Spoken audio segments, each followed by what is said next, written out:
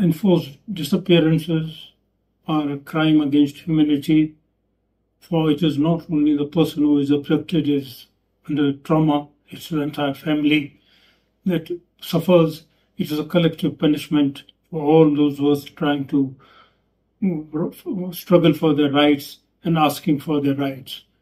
Kabir Baloch was picked up by the state agencies and on 27th March 2009. Now it is 14 years that he has been uh, missing, and despite the, his family's efforts to locate him and have him released, they have been unsuccessful, and it is high time that all the Baloch prisoners who are in custody of the state should be released and the trauma of the family should be ended.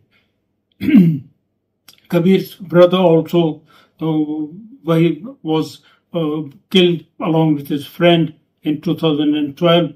So it is a bit for his family and his friends and everybody. It has been a traumatic uh, 14 years. So I appeal to all of my friends, Baloch friends, to, to stand up for uh, enforced against enforced disappearances and talk against it and demand release of all those Baloch who are missing and who may go missing because it the culture of impunity has uh, not stopped and people keep disappearing. Thank you.